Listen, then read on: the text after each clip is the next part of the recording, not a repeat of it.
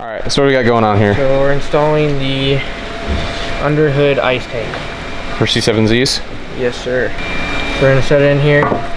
As you can see, the bracket that we have right here is gonna get taken off this bolt. So I'm gonna pull that bolt out. Put this bolt in. Run her home. Just slightly to hold it in place. We're gonna come over here. See there's another bracket. You're gonna drill this hole. So how you're gonna set this up is you're just gonna push this tank down as far close to the side as possible. You're gonna take your self tapper.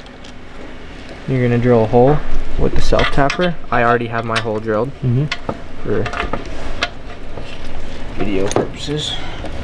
And then you're just gonna run this one home. Do that one first, come back over here, pull it in close. Now tighten. And that's that's in. So That's, that's just mounting the tank. okay.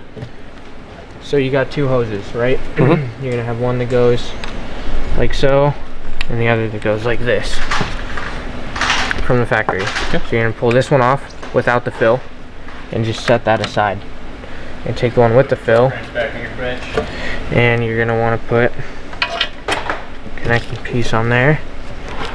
You're gonna want to cut it. Now you can make multiple cuts if you want to start out long, which I normally like to do and we're just gonna toss this piece. So it's pretty good right there. Not really kinking, loose, looks nice. So leave that one like that. Now I'm gonna get on to making this one. All right. So I'm gonna get it kind of where it needs to be, and then for the final cuts, I'll do a video of that. Okay. Cool. Sounds good. We got our hose made. Um, we supplied these hoses, the little S deal. Every one of them is gonna be slightly different. Okay. So you just kind of gotta fit it yourself and cut it um, to what you think looks and fits best. So we got our line here made. So you're just gonna connect this one here, connect this one here. It kind of looks funky, but it works. Okay. And then that one's gonna go there. stabbed me right in the fucking Put a little clip on there. And it kind of stunned me. Boom. Nice. That's it. That's it. Oh yeah. All right. Well, that's uh, that's the basic setup of this, and then you have the drain, which goes basically anywhere, right? Yeah. Yeah.